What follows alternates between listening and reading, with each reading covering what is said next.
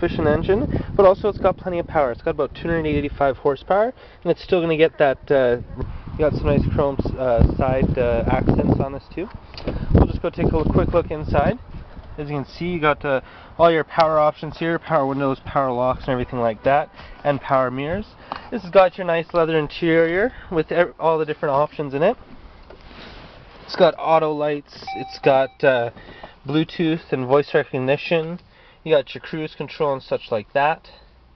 Um, this has also got the 8.4 inch touchscreen.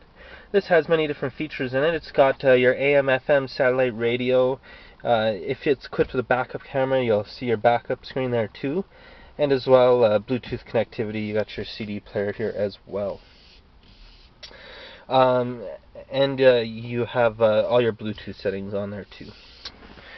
All your uh, functions for your climate control right here.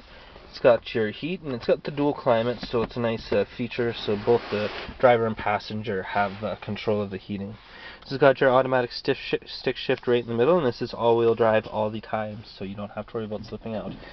This is also equipped with the sunroof, which is a great feature. It makes it feel like a much more sportier car. Now to take a look in the back seat here.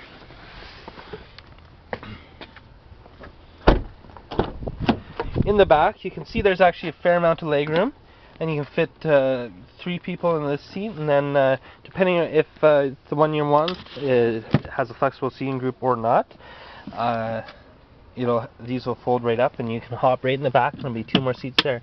As well you got in uh, in-ground storage and everything like that lots of different po pockets and stuff. You got a house plug right here too so you can plug things in if you ever need to charge anything and throughout the vehicle you have different USB points too now we'll go take a quick look in the trunk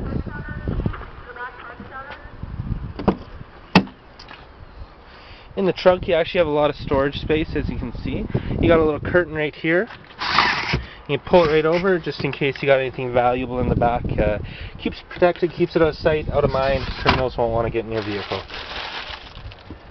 As well, you got a lot of storage right under here. Um, you also have all your spare tire and everything right here. It's got your full jacket and stuff like that. This has also got the subwoofer. It's got a flashlight built right in there too. Now that's just a quick look at the crossroad journey that we have in stock here.